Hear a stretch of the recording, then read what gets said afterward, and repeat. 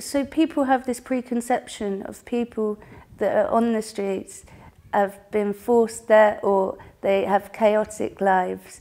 But it could be as simple as a relationship breakdown or losing your job. It's not as clear cut as everyone sees.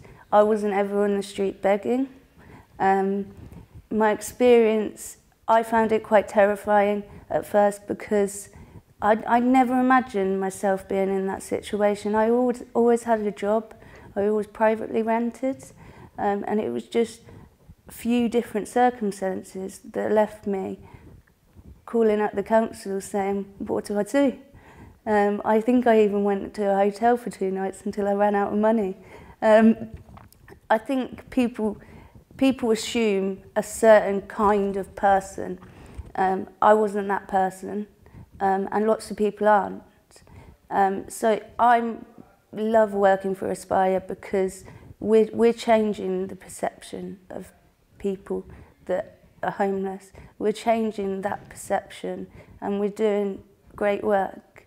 Um, I deal with homeless prevention across Oxfordshire because I'm so passionate that I don't want anyone to ever go through what I went through.